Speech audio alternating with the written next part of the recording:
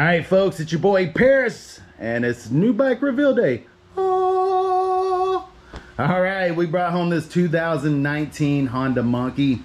Uh, it's been sitting since 2019, not running. The previous owner said that he lost all power after riding the bike. Uh, we looked it over. Everything seemed to be in, in good shape, so we took a chance on it. We brought it home. As you can see, he's done all this aftermarket bling stuff. You can see it all up here on the handlebars. It came with the Yoshimura exhaust as well, brand new out of the box. So again, with all the bling on this side, you can see it all up in here as well. We got a Chimera air intake. And so he was unable to get the bike going uh, after several attempts of his own.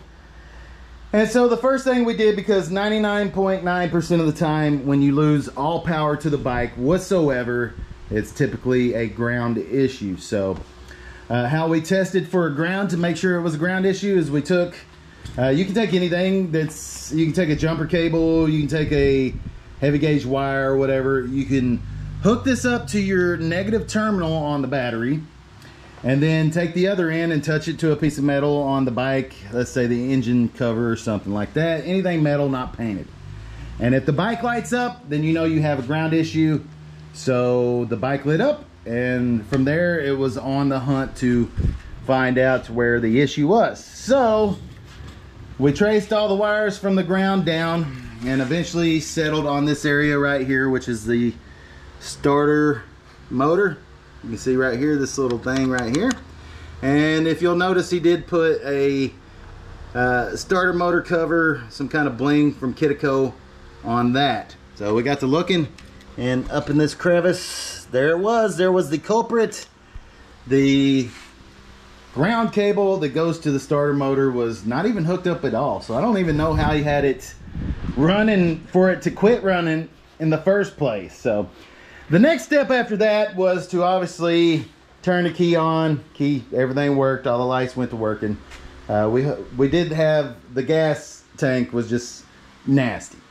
Uh, we pulled that off. It had gas setting in it for several years, and uh, we got that out, cleaned it out, and put it back on. Put some new fuel in it, and the bike still wouldn't start. So our first guess was probably eh, I, I could tell I could not hear the fuel pump coming on. So obvious guess was fuel pump. So we took the fuel pump out. The fuel pump had had some uh, corroded wires and stuff that just didn't really have great connections. I tried to uh, put some new wire ends on them and get this thing going and we did not, uh, we was not able to do that. But uh, so in order to test to see if my theory was true, if it was indeed the fuel pump, I pulled the tank off the 2023 Monkey. We put the tank on this one and here you go. So uh, we're gonna test the bike out with the tank. Well, all right, we do see that we still get power. One of the things that I noticed with the old tank was that the fuel gauge was blinking back and forth, back and forth. Now it's not doing that, and so when we go to start it, bam. All right, sweet sound of success. We now have a running motorcycle. So I've ordered the uh, replacement fuel pump. Hopefully that'll be in from Honda in 34 days and we'll get the bike put back together. In the meantime, you know what to do, folks. Keep it real.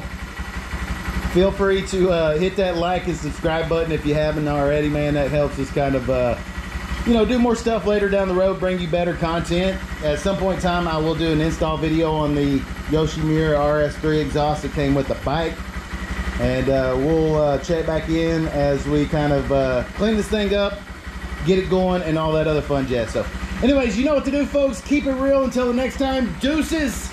I am out